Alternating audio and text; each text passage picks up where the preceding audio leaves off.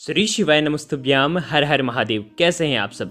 देखिए, हम सभी जानते हैं कि कल शुक्रवार का दिन है और कल आषाढ़ मास की मासिक शिवरात्रि है, यानी कि शुक्रवार के दिन मासिक शिवरात्रि। देखिए, शिवरात्रि जो होती है, वो भगवान शिव को समर्पित होती है और शुक्रवार की मासिक शिवरात्रि के आपको मात्र चार उपाय आज के इस वीडियो में हम आपको बताने वाले हैं। जो भी उपाय आपको लगता है, आप कर सकते हैं। शुक्रवार का दिन विशेषकर शुक्र ग्रह को मज़बूत करने के लिए होता है। और शुक्र ग्रह जीवन में धन, संपदा, वैभव, ऐश्वर्य, कीर्ति की प्राप्ति कराते हैं।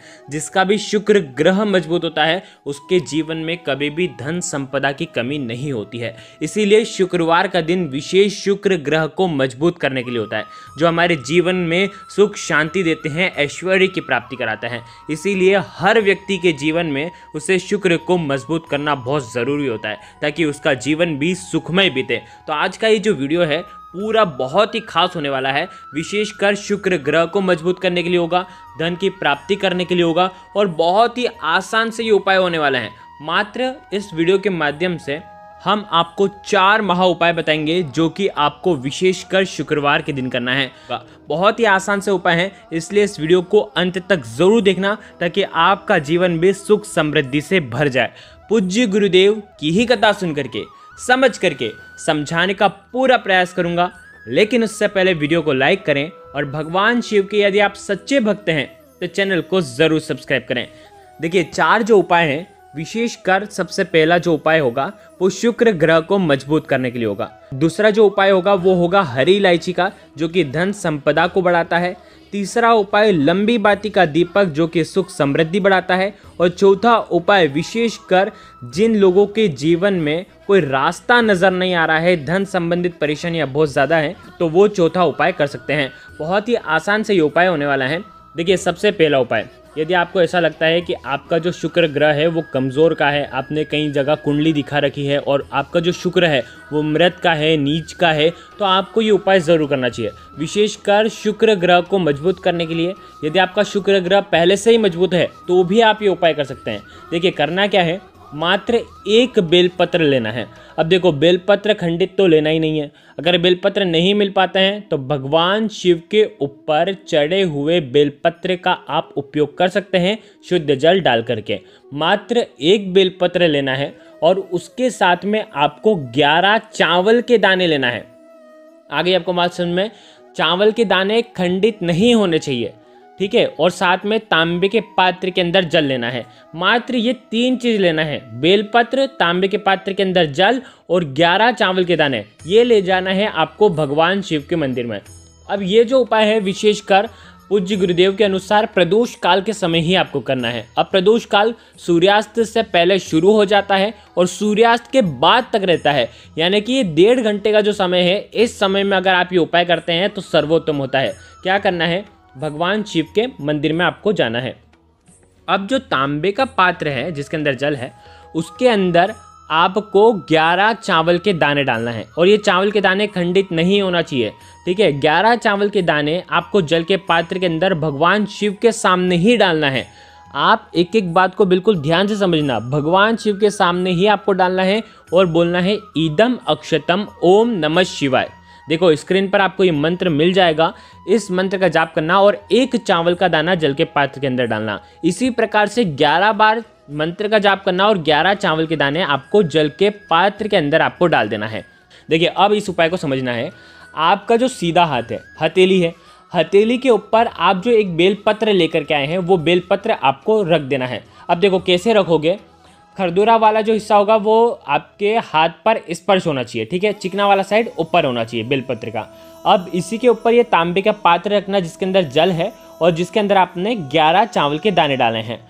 अब ये जो हाथ है, इसी हाथ से आपको, देखो, नीचे बेलपत्र होना चाहिए। इसी हाथ से भगवान शिव के शिवलिंग का आपको अभिषेक करना है। श्री शिवाय नमस्तुभ्यम का जाप करते हुए, शुक्रेश्वर महादेव का स्मरण करते हुए। देखो स्क्रीन पर आपको मिल जाएगा शुक्रेश्वर महादेव। ठीक है, जिस प्रकार से आपने ये अर्पित कर दिया, अब जो तांबे के पात्र के अंदर चावल हैं, वो आप वो आप निकाल करके भगवान शिव के शिवलिंग पर आपको अर्पित कर देना है।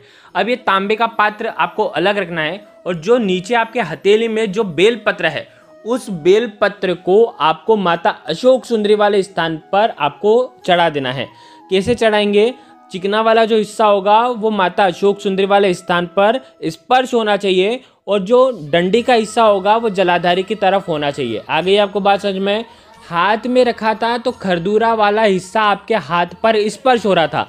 लेकिन आपने माता अशोक सुंदरी वाले स्थान पर रखा है तो चिकना वाला जो बेलपत्र का जो हिस्सा है वो स्पर्श होना चाहिए। तो इस प्रकार से ये उपाय करना माता अशोक सुंदरी वाले स्थान पर धन संपदा की कामना करते हुए ये सुंदर सा पहला उपाय आपको करना है जो, जो कि आपके शुक्र ग्रह को मज़बूत करता है। तो ये हो गया पहला उपाय। बहुत ही आसान सा उपाय है धन संबंधित परेशानियों को दूर करने के लिए। अब दूसरा उपाय। आपको क्या करना है? मात्र एक हरी इलायची लेना है और एक स्टील के पात्र के अंदर दो चम्मच कच्चा दूध डालना और शुद्ध जल मिला देना। और साथ में आपको तांबे के पात्र के अंदर जल लेना है। ठीक है ये तीनों चीज़ लेकर के भगवान शिव के मंदिर में आप, आपको जाना है शुक्रवार के दिन। देखिए शुक्रवार का दिन होता है देवी को समर्पित और हरी इलायची जो है माता लक्ष्मी को बहुत प्रिय है और हरी इलायची धन को खींचने का काम करती है। तो आपको क्या करना है, ये एक हरी इलायची, आपको साबुत हरी इलायची, ये आपको भगवान शिव के शिवलिंग पर आपको अर्पित कर देना है। आप जैसे अर्पित करेंगे, उसके बाद इसी हरी इलायची के ऊपर एक लोटा कच्चा दूध जो आप लेकर के आए हैं, कच्चा दूध और जल ध्यान रखना, दो चम्मच कच्चा दूध मिलाना चाहिए, उसके ऊपर पूरा जल भर देना चाहिए। और वो आपको हरी इलायची के ऊपर अर्पित कर देना है, श्री शिवाय नमस्तुभ्यम का जाप करते हुए। जैसे ही हरी इलायची के ऊपर कच्चा दूध अर्पित होता है और कच्चा दूध भगवान शिव के शिवलिंग पर स्पर्श होता है, वैसे आपके जीवन की धन संबंधित परेशानियाँ दूर होना शुरू हो जाती है। तो ये भी शुभ तिथि पर अगर आप करते हैं तो सर्वोत्तम होता है। अंत में एक लोटा जल भगवान शिव के शिवलिंग पर आपको अर्पित कर देना है। ध्यान रखना, हरी इलायची आपके जीवन में धन संपदा ही बढ़ाती है, यदि आप भगवान शिव के शिवलिंग पर अर्पित करते हैं। तो ये दूसरा उपाय भी आप कल कर सकते हैं, शुक्रवार के दिन। देखिए, तीसरा उपाय आपको करना है। आपको क्या करना है? एक दीपक तैयार करना है।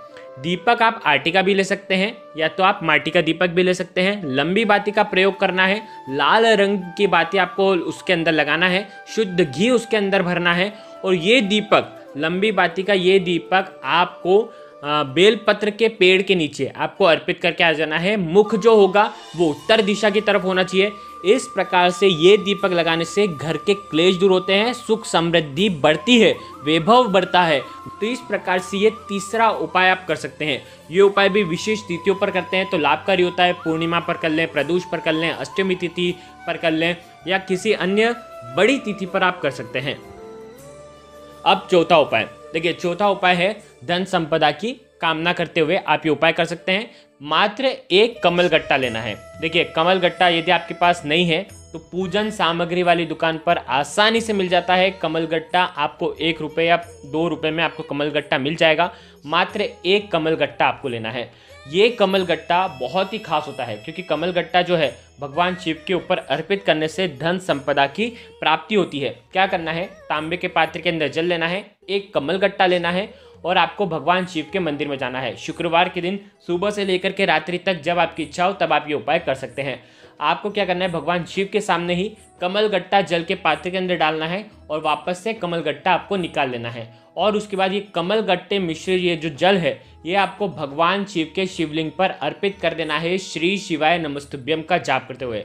जिससे ही कमल गट्टा मिश्रित जल आप भगवान शिव के शिवलिंग पर अर्पित करते हैं वैसे ही धन संबंधित परेशानियाँ दूर होती हैं। आपके जीवन में धन के स्तोत्र खुलते हैं तो ये उपाय भी आप कर सकते हैं। और अंत में जो कमल गट्टा आपने निकाला था, वो आपको भगवान शिव के शिवलिंग पर आपको अर्पित कर देना है। तो ये उपाय भी आप कल शुक्रवार के दिन कर सकते हैं। तो देखिए, आज के इस वीडियो में हमने आपको चार महा उपाय बताए हैं।